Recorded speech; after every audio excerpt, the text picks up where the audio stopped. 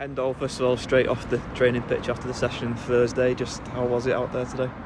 It was a lovely day. As you see, the sun's shining. Um, we had a little bit of a dew on the pitch, which created a, a, a, very intense session in preparation for the FA Cup game at the weekend against Hereford.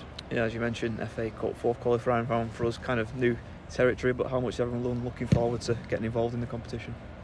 Of course, the um, FA Cup is, is magical, I'd say.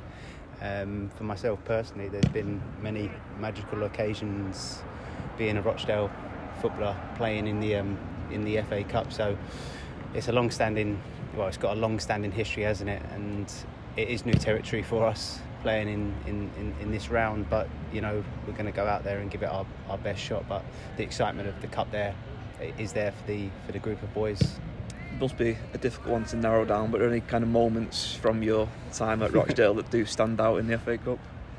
There's definitely a, a couple, but the standout moment will be at, at home against Leeds and uh, winning 2 0. I think that was a, a, momentous occasion for the football club, and I felt it really um, galvanised and brought like Rochdale together as a whole, um, seeing that kind of giant killing and it was thoroughly deserved on the day. Looking at Saturday's game in particular, Hereford obviously uh, the league below um, us, National League North team, but got a big sort of history in the competition as well as a decent sized fan base as well. What the kind of what are you expecting going into into that game? Historically, they've got good history about them themselves as a football club. Um, we're not going to go into the game light at all. We're going in it to win it and take Hereford very serious because they're a serious football club like Rochdale are. So our intention is to go and win and be in the next round. I know after the weekend game, uh, we spoke to Jim and he was sort of saying it's probably a good time to kind of reflect on the 15 games in the league so far. How do you kind of look at the, the season so far? I think it's right the way that our manager's broken down um, the season into 15 game segments. It's it's always good to reflect and learn, um, absorb where we're up to as a squad and where we we've done well and where we need to improve. Um, the FA Cup gives us a little bit of a, a step away from the the cauldron of the league because it has been relentless over the last four to five weeks of travelling um, and playing Saturday, Tuesday, Saturday, Tuesday.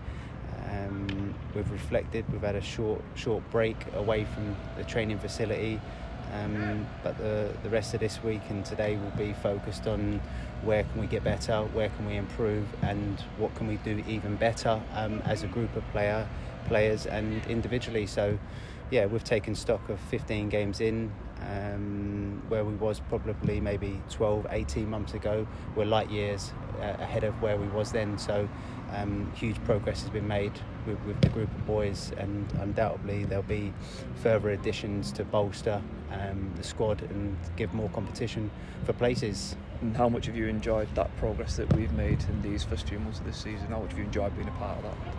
It's been been amazing um, because you have like an, an affinity with a football club if you spend a lot of time there, and all you ever wish for is those good moments, those robust nature, of performances, wins, to galvanise people together. And I, I, do believe as a group we have um, in spells shown really good um, threats, winning games, playing well. Um, but because it is a new group, we do have to gel and have to um, get to know one another. Um, but overall, I'm really pleased with where we are at this moment in time in comparison to where we was maybe this time last year. Um, I think we've made really, really good positive steps forward as a football club. And that leads to a lot of optimism going forward as well, I guess. Of course, you know, you just got to look at the likes of Kairo, um, George Knevitt, going away on international duty, um, and I don't say that lightly, um, and I'm not going to say this disrespectfully. We are a national team at this moment in time. To have a couple of international players on our books is, I'm pretty proud of that, and I hope everyone else associated with a football club is because to have that calibre of player at your football club means you're doing something right.